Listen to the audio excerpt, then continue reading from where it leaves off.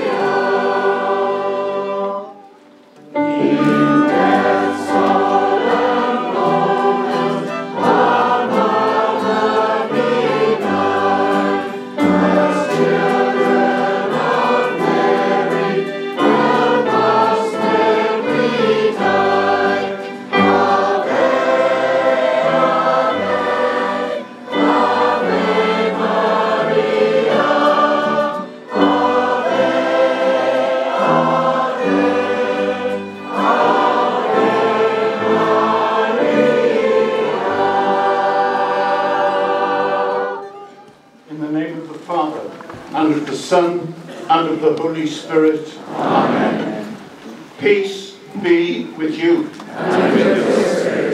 I welcome you to the grotto. I welcome all those who are joining the diocesan pilgrimage from Westminster, particularly the Welsh National Pilgrimage with Archbishop Mark O'Toole and the Brentwood Pilgrimage with your Bishop Alan Williams. Let us now prepare ourselves to celebrate these sacred mysteries.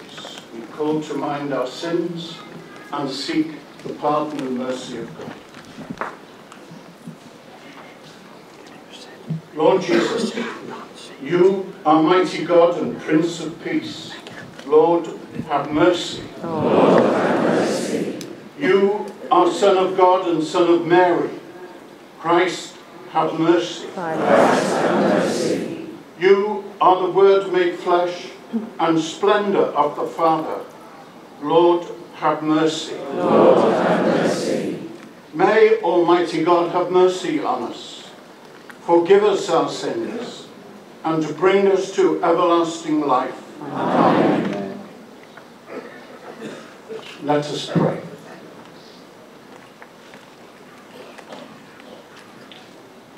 Grant, O merciful God, protection in our weakness, that we who keep the memorial of the Immaculate Mother of God may, with the help of her intercession, rise up from our iniquities through our Lord Jesus Christ, your Son, who lives and reigns with you in the unity of the Holy Spirit, God for ever and ever. Amen.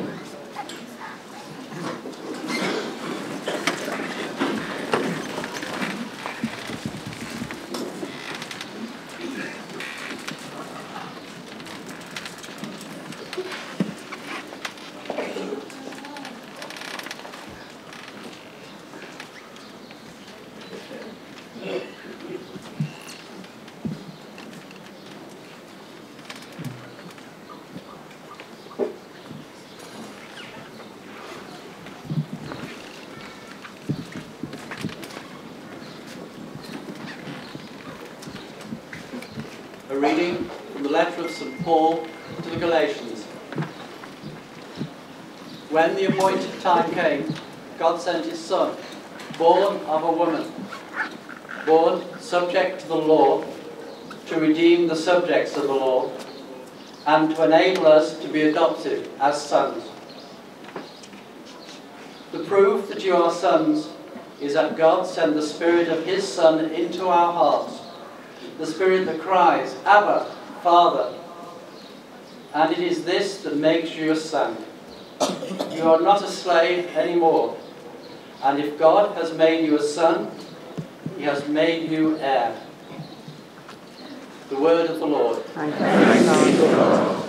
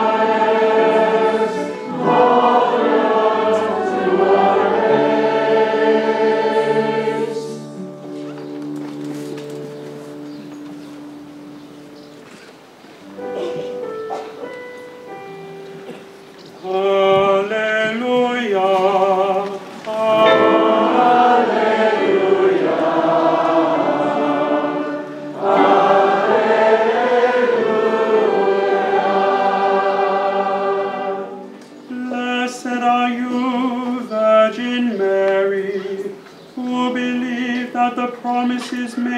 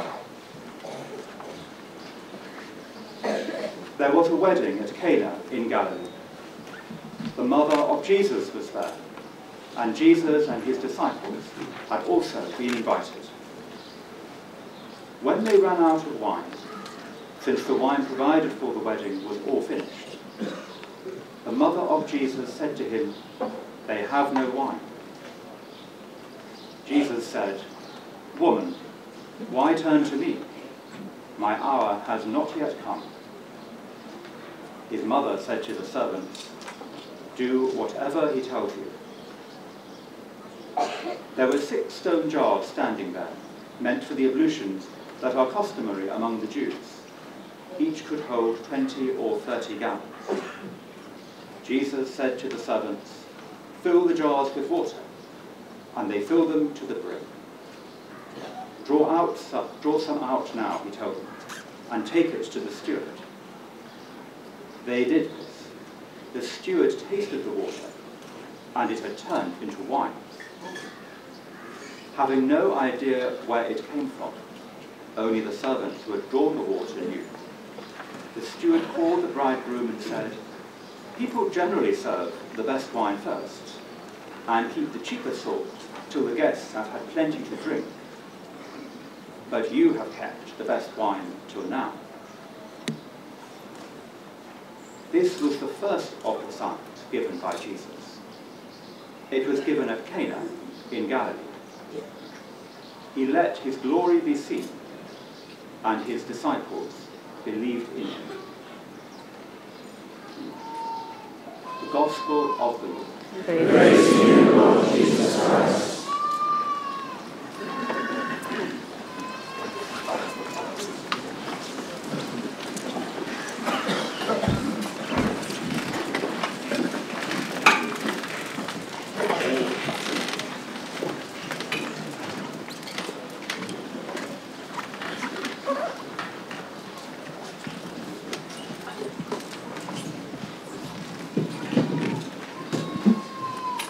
This morning, each one of us has followed the path down to this grotto. We've done this responding to the request presented by our Blessed Lady that we come here to this sacred place in procession. Here we stand with Bernadette before Mary imploring her help for our world, so torn by strife and hostilities and anxieties. We implore her help for ourselves, for our loved ones, both living and dead. Now, in this place, we become a little more deeply part of the unfolding of our faith. Here we understand from Bernadette what it means to put our trust in Jesus, to place our life in His hands. Here we learn to lay aside our anxieties. Every time they return, for come back they surely do. Here we learn to respond to each other with care and gentleness and not to be overcome by timidity and suspicion that, can- that can so easily surround us. Cynicism can creep into our hearts. Fear can hold us back. Anxiety can shut us in, depriving us of the sunlight of each other's care. leaving us isolated and downcast. Now, St. Paul has a way of speaking about this story of faith that we are to enter more deeply. He tells us how it works in our lives. And he puts it very simply. You are not a slave anymore. Rather, he says, we are adopted as sons and daughters of our Heavenly Father. We are rescued from every imprisonment. Think of what this means. No longer slaves, but daughters and sons. So we go from being a slave burdened and bound by duty to a person who freely offers loving service.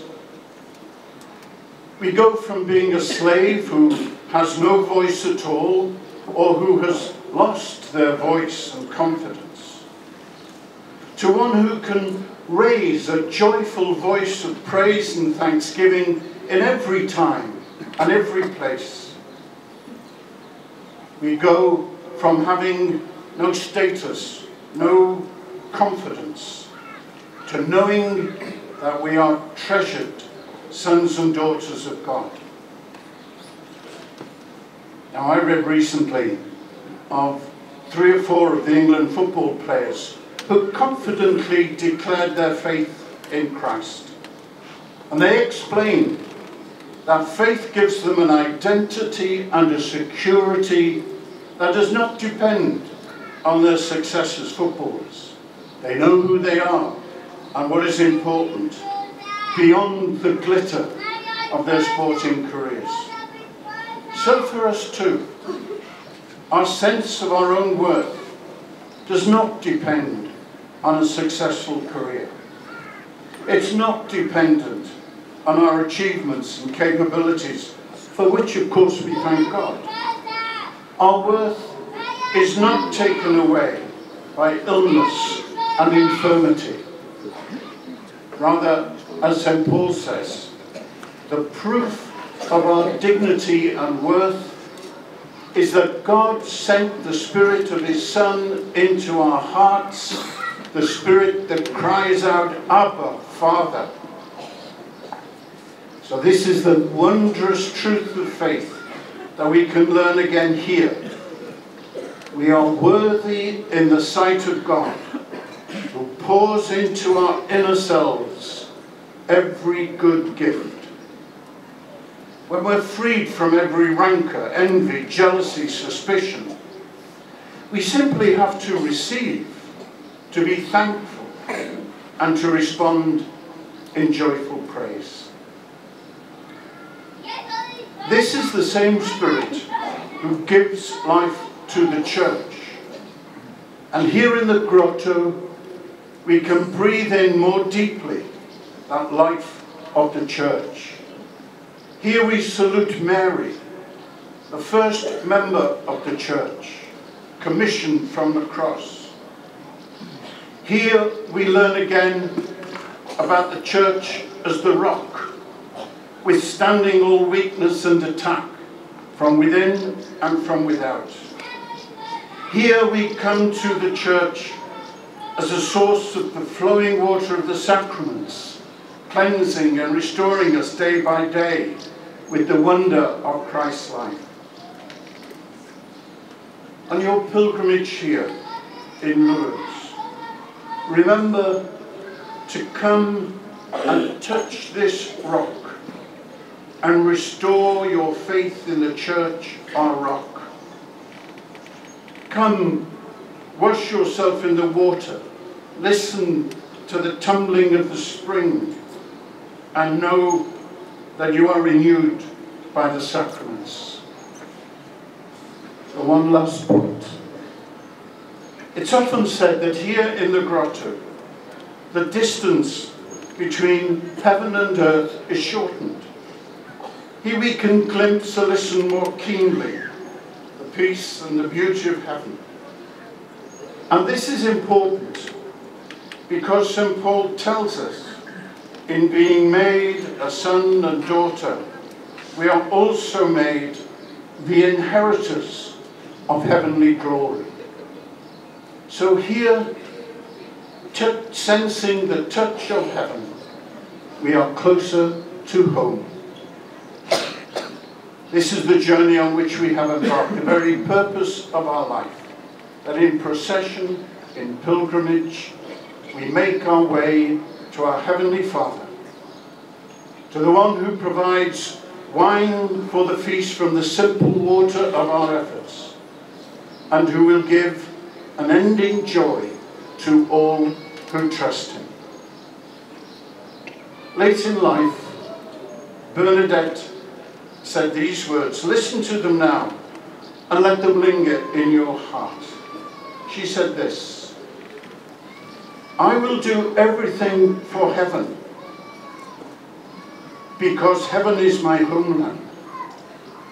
I will find my mother there in all the splendor of her glory. There, I will enjoy the happiness of Jesus in perfect security. So let it be. Amen.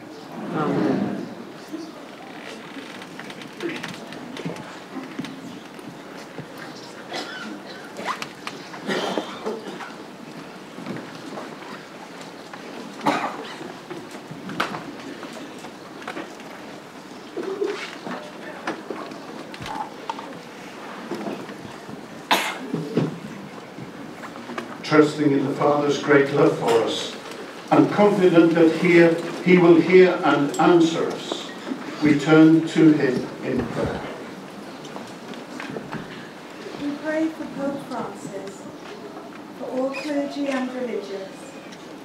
We give thanks for their selfless service to the Church and ask that our Blessed Lady strengthen and protect them as they work to support the communities they serve.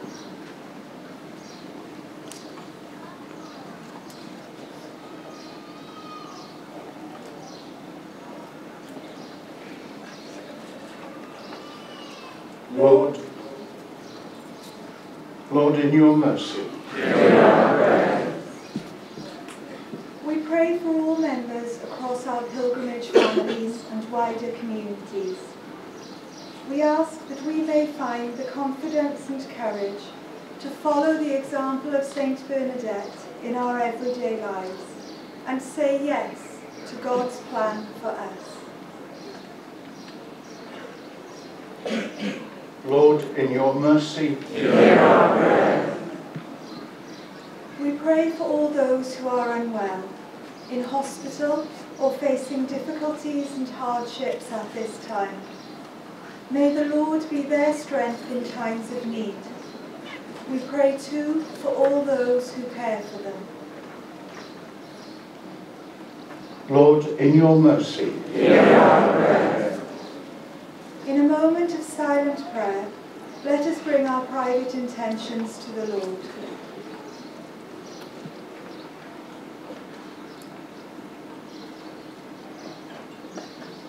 Lord, in your mercy, We ask Our Lady to join her prayers with ours as we say,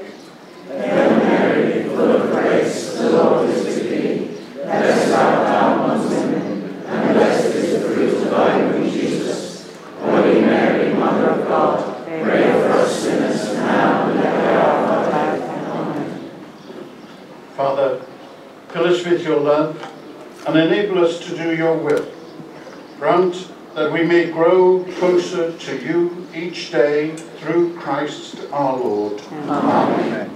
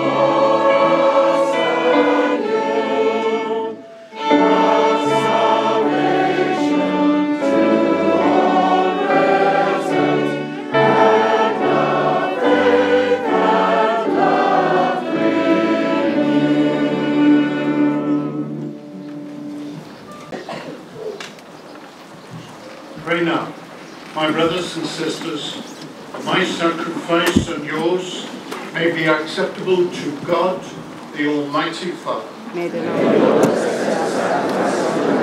praise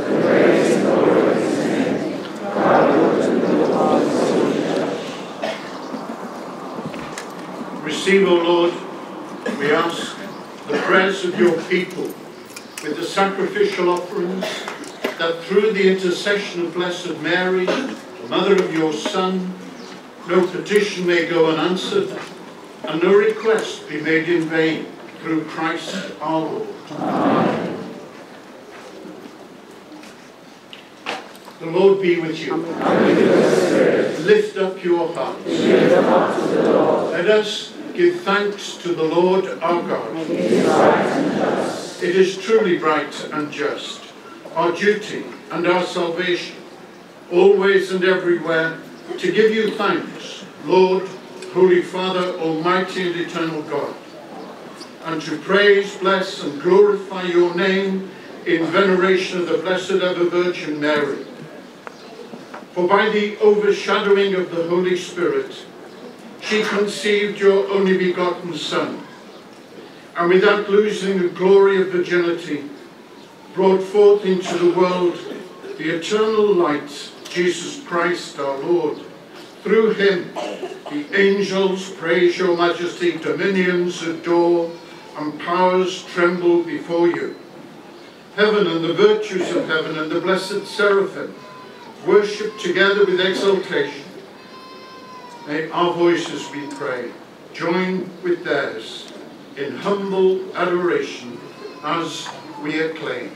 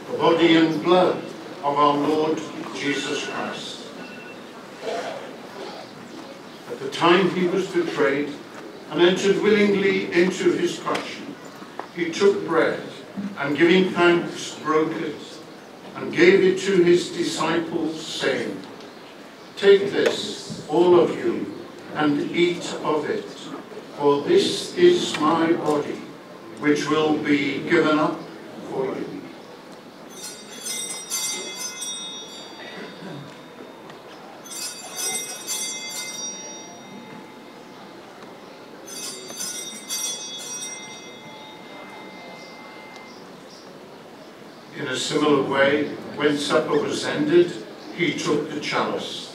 And once more giving thanks, he gave it to his disciples, saying, Take this, all of you, and drink from it, for this is the chalice of my blood, the blood of the new and eternal covenant, which will be poured out for you and for many for the forgiveness of sins. Do this in memory of me.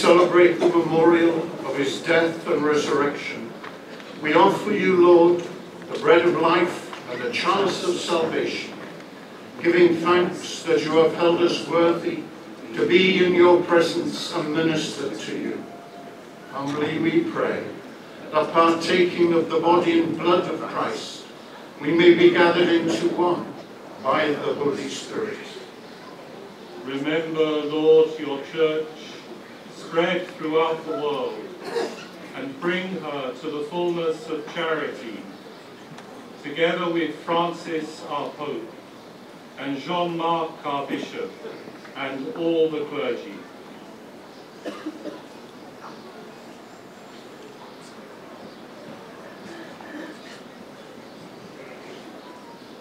Remember also our brothers and sisters who have fallen asleep in the hope of the resurrection, and all who have died in your mercy.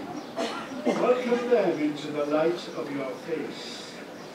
Have mercy on us all, we pray, that with the Blessed Virgin Mary, Mother of God, with blessed Joseph, her spouse, with the blessed apostles, and all the saints who have pleased you throughout the ages, we may merit to be co-heirs eternal life, and may praise and glorify you through your Son, Jesus Christ. Through him and with him and in him. Almighty Father, in the unity of the Holy Spirit, all glory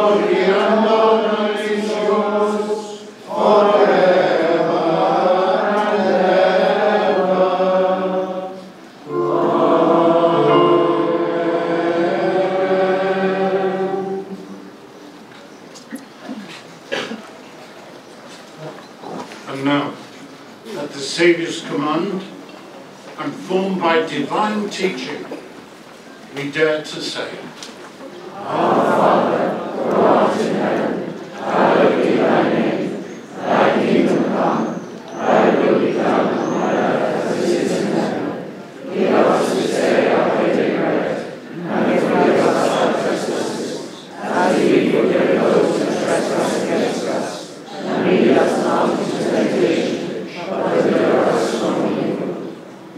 Deliver us, Lord, we pray, from every evil. Graciously grant peace in our days, that by the help of your mercy we may be always free from sin and safe from all distress, as we await the blessed hope and the coming of our Saviour, Jesus Christ.